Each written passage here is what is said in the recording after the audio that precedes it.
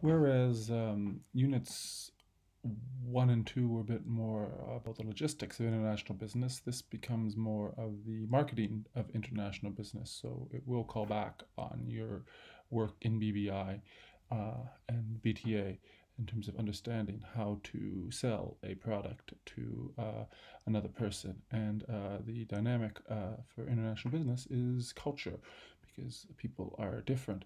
Uh, uh, as a rule, you know, often you'll see that companies first expand to a country of similar culture because if uh, the marketing works in for one group of people, it uh, has a li- greater likelihood of working with a similar group of people. So, uh, you know, I understand, you know, it's frustrating, you know, I think for you guys understand that the marks will work out and, uh, you know, uh, wish you all the best with the university acceptance. But in the meantime, I would encourage you to keep studying. Nothing's going to be due during this time that school's closed, but we can still work on the material. You know, you can make a study sheet, uh, and that will pay off when it comes to the exam later on. So please keep on task. So, our first unit is actually really more of a case study of how McDonald's first uh, expanded into India.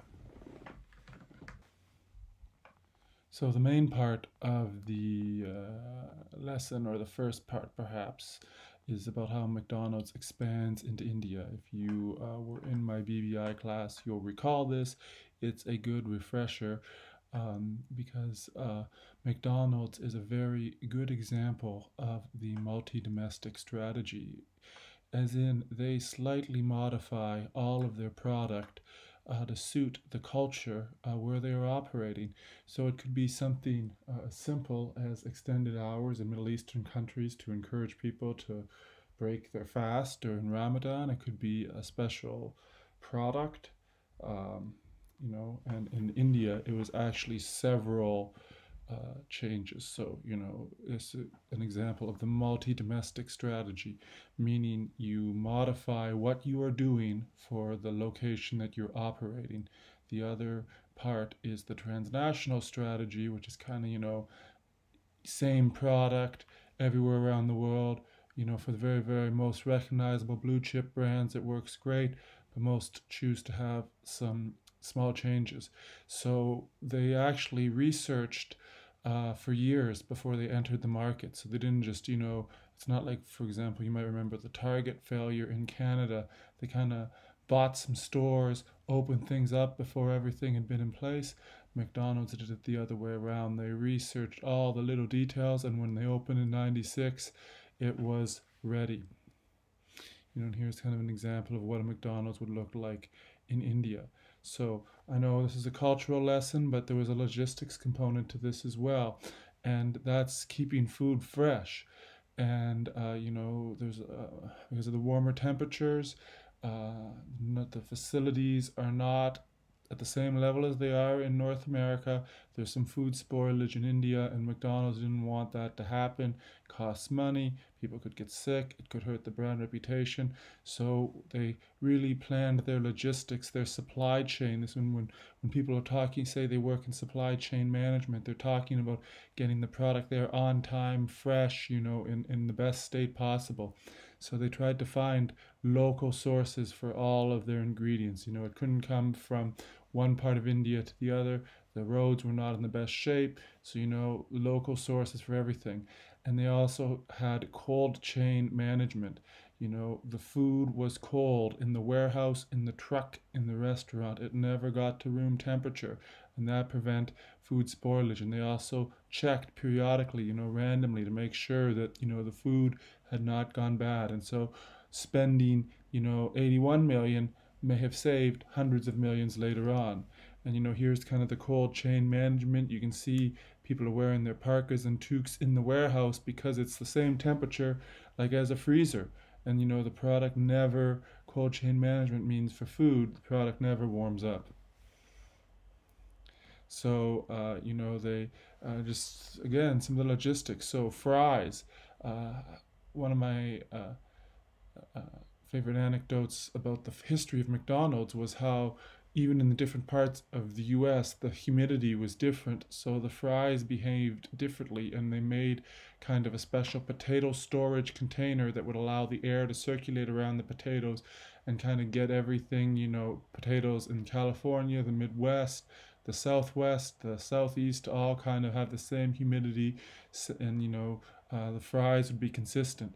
So, uh, you know, Indian potatoes are very uh, moist and this soaks up oil and the fries were not golden brown they were lumpy and brown so they had to improve the local potatoes they uh, went over there to study the conditions they uh, transported special saplings to that region and they found the region in India that had the lowest precipitation and you know had their farmers irrigated just like a US farmer would and they got more potatoes and more fries that were like the US version and here is a pile of them.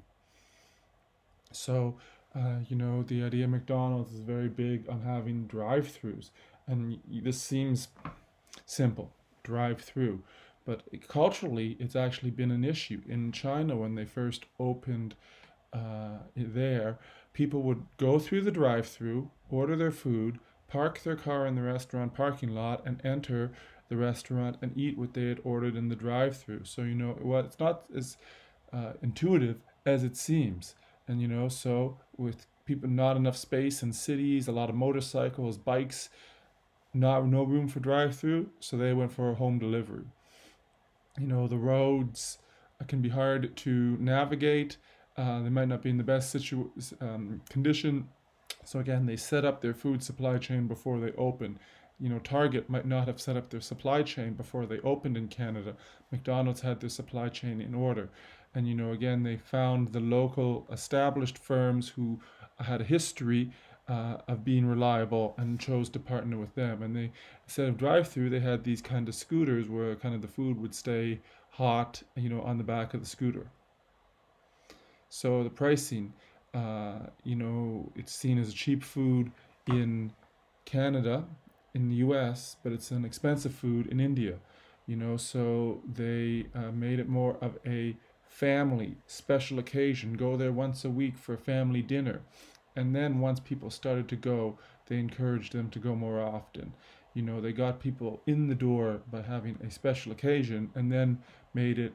Uh, an everyday experience, and Happy Meals, for whatever reason, were especially popular among all ages. So they really pushed that and made Happy Meals one of the brand identification elements that stood up, uh, stood out in India. You know, and here's you know you see some of the menu items, uh, a little different than what you would see in uh, North America.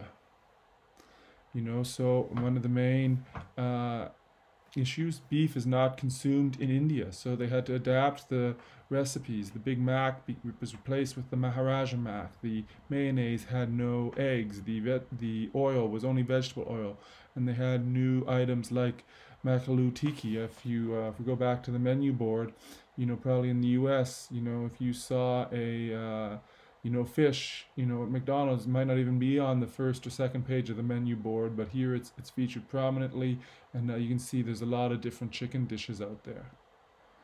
Uh, so you know now, um, 25 years later, they operate 350 restaurants and they have 325 million customers in India. It's been a great success. They're trying to double the number of stores they have in the south and west. And you know, again, culture. So first they had to get people used to going to